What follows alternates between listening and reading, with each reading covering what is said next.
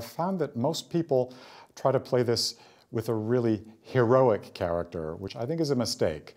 There is a, a, heroic character in this overture, but it's not the flute, it's the trumpet that gets to do that.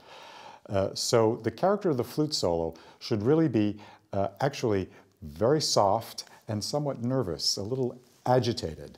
Um, the solo is clearly marked piano all the way through. You have the scale with a crescendo to a forte, and then the rest of the solo should be maintained at a piano level. Concerning the phrasing of this uh, solo, I've found very often that I hear people playing it phrased one bar too early for me.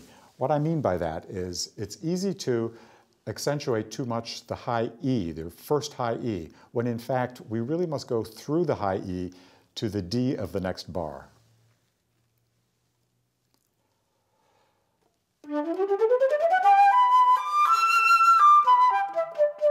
Of course, I'm exaggerating in a way. This is the, the, sort of thing that we must avoid, that big accent on that high E, play gently on the E, and go through to the B of the next bar.